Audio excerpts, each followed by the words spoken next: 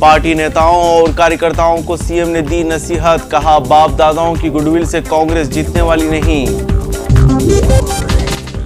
Housing board की ज़मीन हड़पने वाला मास्टरमाइंड गिरफ़्तार, तीन दिन की रिमांड पर साथियों की पुलिस को तलाश।